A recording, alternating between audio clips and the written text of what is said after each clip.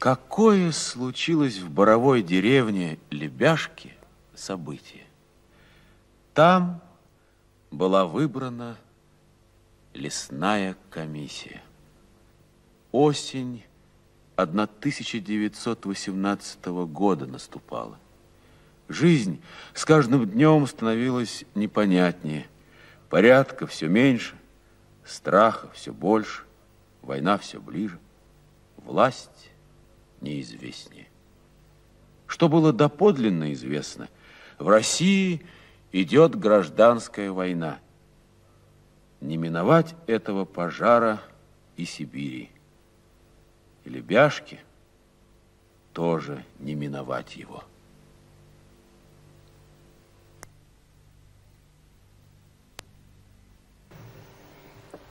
А это мужики, товарищи члены лесной комиссии. Это сам Иван Иванович явился Самаруков.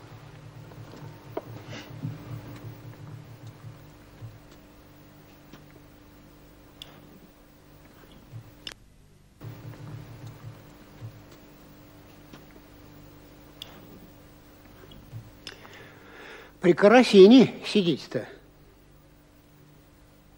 И не врете, что при настоящем карасине-то. Нет, мы не врем, Иван Иванович. Это у нас тут истинный карасин горит в лампе. Садитесь, будь добренький.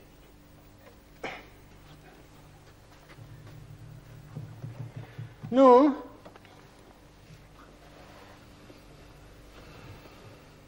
Ну и как вы тут, а? Товарищи, лесная наша комиссия. Товарищи вы, либо господа. Нет, мы товарищи. Мы беспременно не. По-другому сказать, так э, власть и начальство. Ну, какое там? Ну, а что, Игнатий? Без власти, без начальства ни к чему и не подступишься. Разве что к собственной бабе. Ну, а скажи, тебе-то какие наиглавнейшие заботы в комиссии в этой? Мне-то? Да. А как в дураках не остаться? И мне тоже, а то одну, а то и другую, хорошую лисину поиметь. Одним словом, в дураках не охота быть. Ой. Вот она, самая великая беда всего человечества. Игнатьевых Игнатовых развелось среди людей слишком уж много. И едва ли не в каждом нынешнем человеке. Хоть сколько-нибудь да сидит Игнашка. В одном поболее, в другом помене, но сидит. И ждет своего часа. Приходит час, и вот тут Игнатий берет свое. И мутит светлую воду и человеческое сознание. А когда сделано, ну, хоть что-нибудь по уму, он же обязательно переделает на глупость. Почему так? Да вовсе не потому, что ты, Игнатий, сильно глупой от природы. Хотя, конечно, может и это. Потому что человеку так легче, удобнее. Так он живет себе и живет, как поросенок. А к человечески трудному не прикасается, избавляет себя от него. Лень бывает человеку человеком быть, а то и не досуг быть им. Слишком это трудные занятия для человека человеком быть. Вот-вот. Ведь куда ни кинь, все временное. Деньги временные, власти временные, законы временные. Гляди-ка, и вся эта жизнь тоже сделается временной. Тут ж вот Игнатию ход да ход. Тут ему жизнь так жизнь. Ну, мы, Иван Иванович, должны прививать людям своей комиссии сознательность. Всем. Хотя бы даже Игнатию. Понятно. Ента вроде как э, по воде пешком ходить. У святых получалось. Но припомнить, да кто же, не у всех. Скажи-ка, Николай Леонтьевич, а в чем тебе ночью думается? А? Как-то? Ведь я знаю, Никола, ты в свои мысли всякий раз сперва вроде бы э, в горку молчком забираешься. Ну, и куда ж ты ночью разобрался? Ой, Иван Иванович, разное думается мне. Ну? Вот думается. Это сколь же во вред и на погибель самому себе человек может сделать? Войну может сделать на погибель миллионам. Бомбы бросать с аэропланов, газ пустить друг на дружку. Один из народов совсем может изничтожить другой какой народ. И все ведь с восторгом, по-геройски. Ну, ура! А на малую пользу себе не умеет делать человек. Ну вот мы тут затеваем комиссию по охране и разумному пользованию лесом. И в ту же минуту не ясно, а сможем ли, а не вовсе ли зря начинаем, а может все одно толку не будет. Правильно, Устин. Я тоже сколько разов головой-то думал. Почему для хорошего дела пушки не выдумано? Чтобы зарядить бы ее хорошим словом, прицел бы взять, пальнуть и... Вот оно, хорошее дело совершилось. Явилось от прицельного попадания. Не выдумано, покуда бы такая пушка, Никола. Нету, Иван Иванович. Покуда нет. А жаль. И сильно жаль-то. Уж очень она необходимая. Такая пушечка по нынешнему времени. Очень и очень. Период гражданской войны в Сибири явление совершенно поразительное, потому что кроме регулярных армий в Сибири было э, семь республик партизанских, крестьянских. Одна из них, скажем, э, в Канском уезде существовала 14 э, месяцев. В Западной Сибири тоже были очень интересные республики, такие образования с какими-то даже государственными началами, с отделами, понимаете, там культуры, просвещения, лесного дела и так далее. И таким образом, скажем, вот возник у меня роман э, «Комиссия», который посвящен, значит, э, мужикам сибирским, э, создавшим в 18 году вот такую комиссию по охране леса. Решить, что ли, тебя, Устинов? Кем ты связался-то, Никола Устинов? Кто тебе, Никола Устинов, нонче друг и брат? Дерябин Васька, Игнашка Игнатов, а Петька Калашников, коп, мужик, даже начальник тебе. Нечто ты не ведаешь в том стыда. Да тебе с ними в один сортир хаживать, и то стромота. Вот с тем человеком, который в людях людей не желает понимать, вот с тем мне действительно худо, Григорий. О, как. Тем более, что все мы выбраны в нашу комиссию миром, Лебяжинским обществом. И когда ты против народных избранников, значит, ты и против всех, кто их выбирал? Конечно, против. А как же можно, мне можно назначить, хотя и миром, и всем светом товарища и друга? Никак нельзя. Этакое назначение издевательства надо мной, а не что более. Тут уж моя забота, собственная. С кем я желаю иметь свое дело, коротать время – кого я своими глазами желаю видеть, кого я своими ушами желаю слушать, выбираю я сам, сам, никто более. Не почему тебе больше других надо, Григорий? Зачем это тебе? А мне надо, Левонтич, не больше, не меньше, а ровно по силам моему умению. Вот я один за троих робить могу. Ты знаешь, могу. А когда знаешь, то тебе и признать надобно, что я действительно один за троих иметь должен. Нет ничего хуже, как нищенствовать. А не робить в полную силу – то же самое нищенство. Пропадать человеческому умению – то же самое. Ну ладно, как в сказке присказка. Ладно, коли так.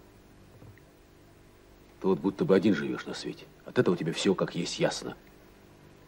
Но ты ведь не один, вокруг и повсюду тебя множество людей. Им-то ясна ли твоя ясность? Согласятся ли они с тобой? А когда нет? Как же ты можешь забывать про ихнее несогласие и не искать народного согласия? А у меня, Устинов, с народом свобода. Как?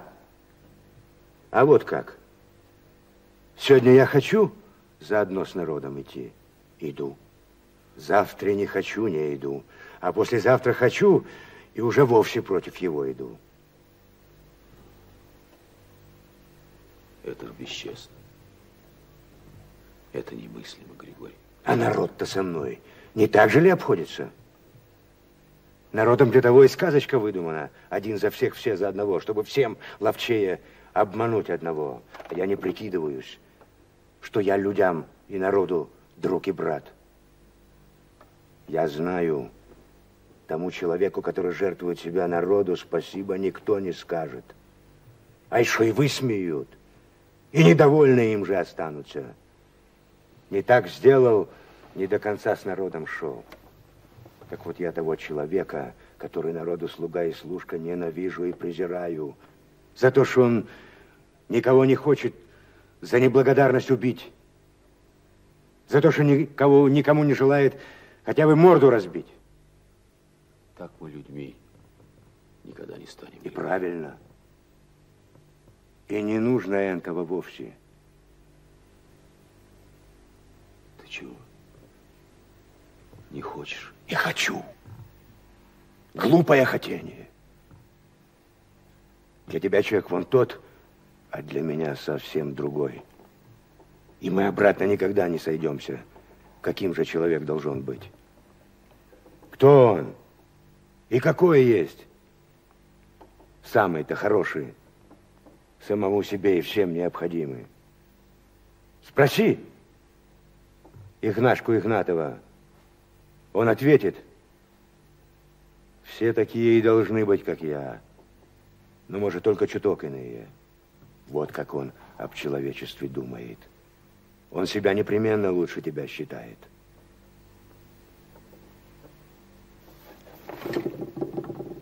Вот я, к примеру,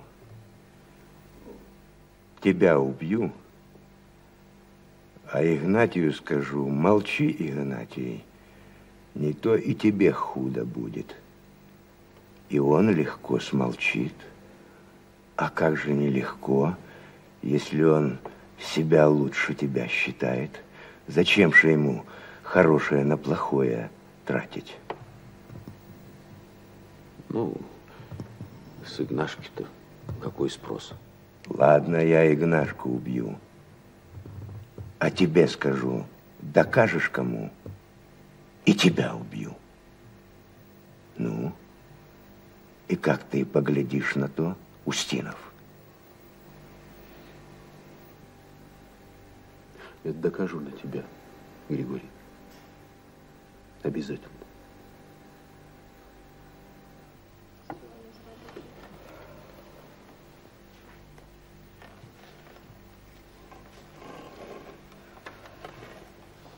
Всякая великая глупость, вишь ли, интересная.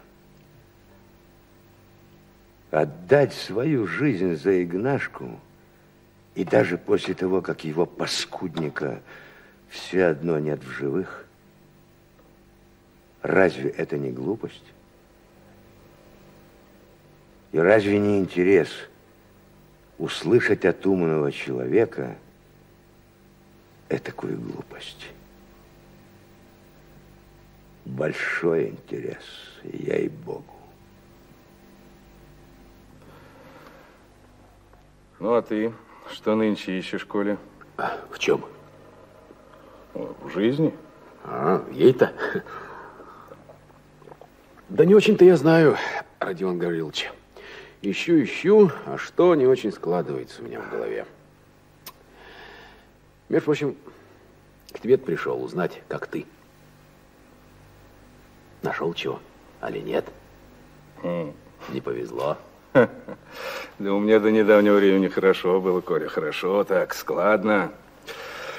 Я чести искал, чести неизменно. Ну, а вот вы, Смирновские, хотя и не казаки, ну, чистокровные крестьяне, всегда шли на военную службу. Зачем?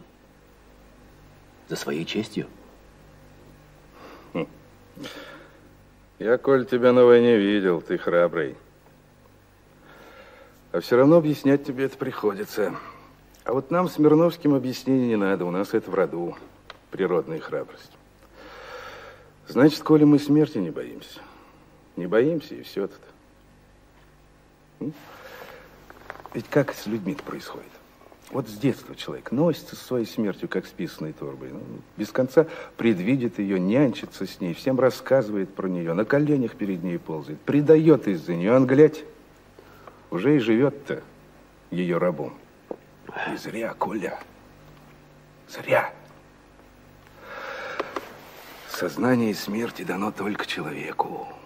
И пользоваться им нужно по-человечески, не унижаясь перед животными, которые ничего не знают.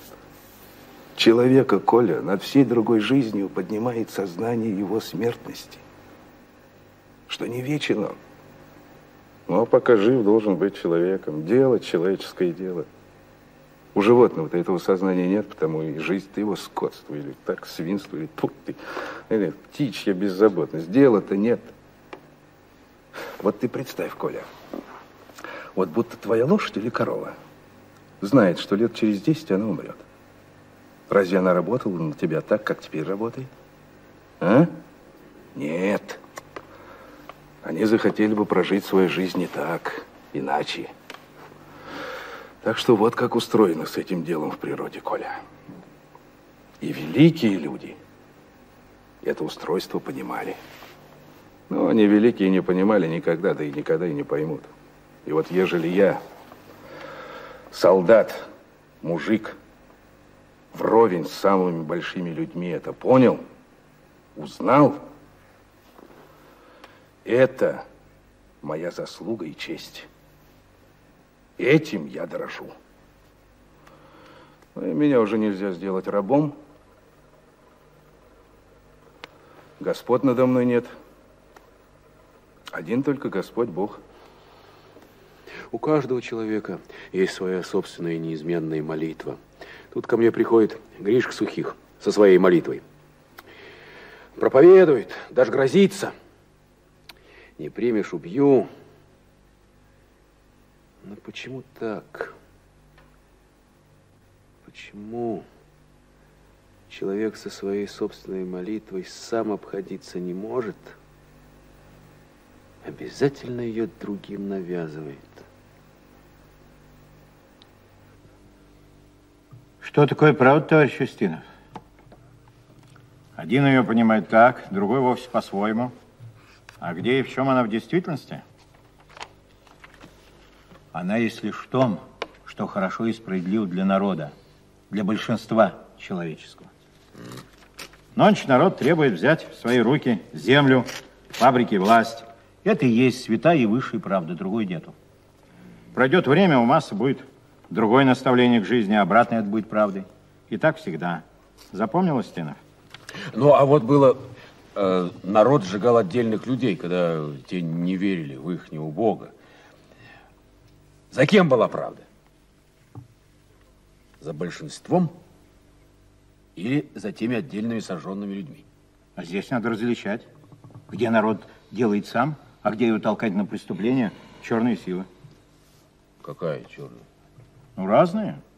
Монахи, колдуны, капиталисты.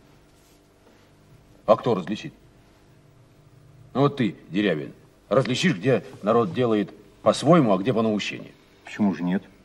А, так, когда ты можешь это, а все другие нет, так стало быть, ты отдельно ото всех, как тот святой. Никогда. Никогда я не стою отдельно народа, а нахожусь в самой его душе и глубине, потому и чувствую и чую, что исходит от него самого, а что ему навязывают другие из черных замыслов. Сам же я при этом своей личностью ноль. Ну, это даже странно. Ну, а вот в лесной нашей комиссии ты нонче кем работаешь? Нолем работаешь? А? Либо главным рабочим членом, начальником охраны и даже нашим как бы руководителем. Ежели ты наш руководитель ноль, это тогда кто же мы-то? Ты меня не вовсе понял, Устинов. Я себя руководствую и не, не отказываюсь от этого. Mm. Так потому что ощущаю себя перед народом как ноля. То есть я более чем всякий другой должен слуга ему быть, и только слуга. Во мне это рядом и вместе слившись должно находиться. Слуга и руководственность. Что, можете, и это не очень понятно? Конечно, нет. Ну, а вот в ту ночь-то, когда э, нагрянули степные порубщики-то. И ты уже почти отдал приказ стрелять в их. Ты кто тогда был? Слуга и ноль, или ты в тот миг руководствовал? Ведь степняки тоже народ. И заметно победнее, чем мы, лебяженцы. И, и лесом, несомненно, больше, чем нам нужен. Ты, Устинов, садись на мое место. Вот оно. Вот они бумаги. Вот он. Список охраны лежит. На краешке стола свесился. Принимай дела. Я точно сведу тебя в курс. Ты принимай дела и делай по-своему. Умно со всеми, благородно. И с своими лебяжинскими со степняками, и с самогонщиками, с Гришкой сухих, со всеми как есть. Давай. Погодь, Василий, погодь. Не спеши. Не спеши. Погодь. Да разве я о том? Я вовсе не о том. И наверняка, Сергей Павлович, вам приходилось выслушивать, наверное, упреки. Упреки в том, что Устинов ваш э, слишком много философствует. Наверное, приходилось вам слышать, что э, где вы видели такого героя, что мужик, э, русский мужик, сибирский мужик, он не может быть таким философом. Вот. Как вы относитесь к этому, интересно? Я отношусь... э, Действительно, были такие замечания. И я даже понимаю их происхождение, потому что, в общем, мы не очень хорошо знаем свой народ. И, так сказать, своих философов, вот не тех книжных, понимаете, философов, известных и признанных, и достойных, но еще есть ведь э, люди со своей философией в обычной жизни. И очень часто они встречаются. А мы вот их как-то не знаем, не замечаем часто. И не признаем, не отдаем им должного. Я очень хорошо помню э, деревню, понимаете ли, скажем, 20-х и начала 30-х лет. Э, Еще такого склада э, какого-то чисто деревенского, крестьянского. Понимаете, там все было доморощенное. Там был квас свой, пища своя, так сказать, не привозная никак уж. И, значит, и философ был свой тоже. Потому что не могла без этого жить какая-то община, какая-то деревня, понимаете, 200 дворов не могли обойтись без своего философа. Иногда это был удачный человек, э, и удачная его философия, умная, иногда не совсем. И даже как-то люди понимали, что вот их деревенский философ не совсем тот, которого бы им хотелось, но другого нет. Они мирились с ним. Но всегда был какой-то человек, который воплощал какие-то нравственные, пытался э, начало, так сказать, э, изложить и дать себе самому в них отчет и поделиться этим с окружающим.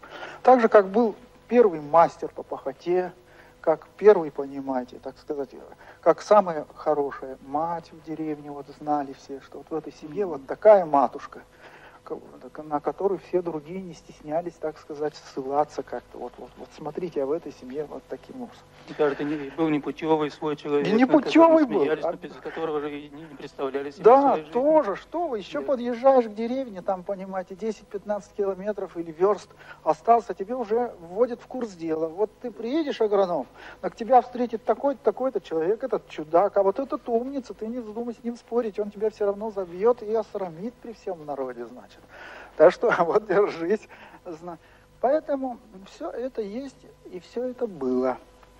И э, я думаю, что, в общем-то, я бы мог в своей памяти восстановить людей даже гораздо более философичных и, может быть, умных, чем тот же Устинов. Просто надо больше внимательности, понимаете, проявить э, и к тому, что к тому человеческому материалу, к тем людям, которые вокруг нас и есть, и были. Кроме того, это ведь еще история. Потому что любой человек, любой вот такой деревенский философ, знаток, умелец, это не только он, вот не только в своем поколении, но он несет какой-то заряд предыдущих всех поколений, их философию.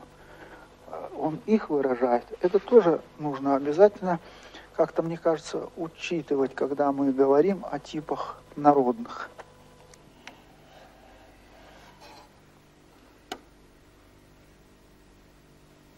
Сгорело все. Сгорело. Сгорит, когда пожгли. Как не сгореть? Кто? Кто пожег-то? Ты знаешь?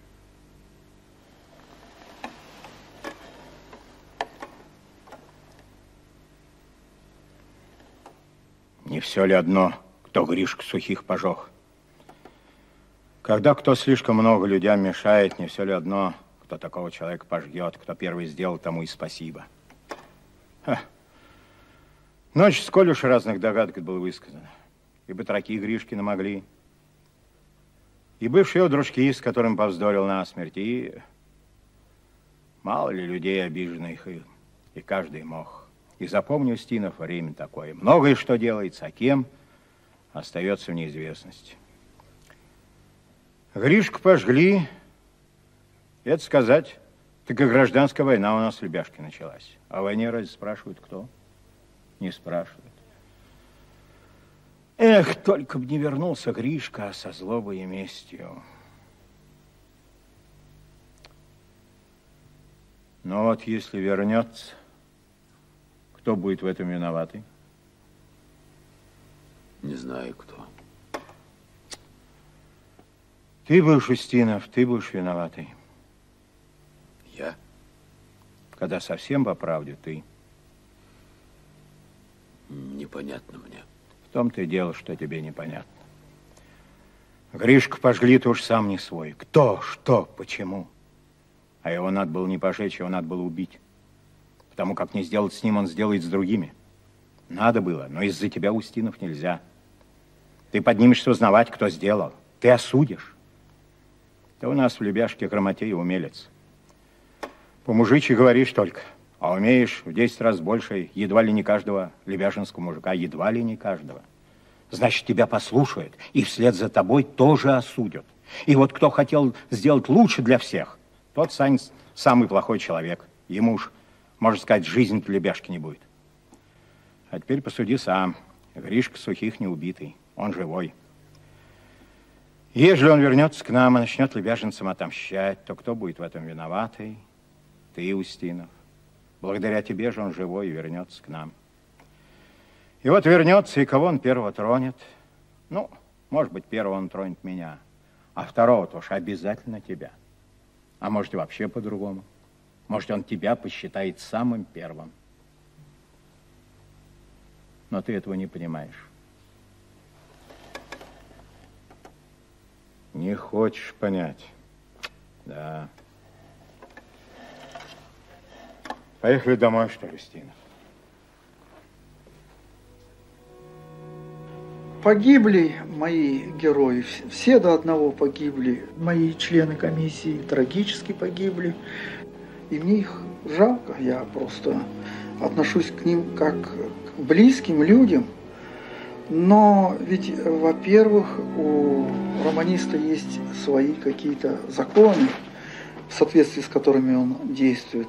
А во-вторых, может быть, они действительно своей гибелью что-то доказали.